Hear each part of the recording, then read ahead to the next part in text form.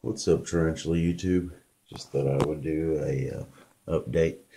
Um, one of my uh, new arrivals that I got from Pulp Friction um, like three or four days ago. Um, just molted the uh, Poecilotheria fasciata, the uh,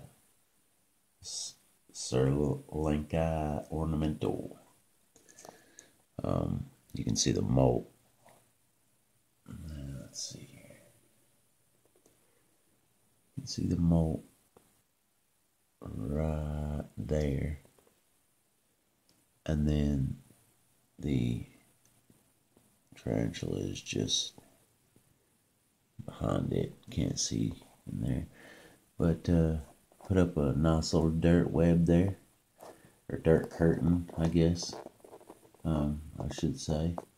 On this uh, cork bark and uh, yeah, decided to molt. I went to uh, go feed them last night, and uh, the majority of them um, that uh, are in my collection are in pre-molt right now anyway. Um, so uh, these little uh, wasn't able to get a uh, good feeding video, so maybe maybe I can put maybe something together because um, I did have a few eat, so I may put like one feeding clip or something of something. I don't know.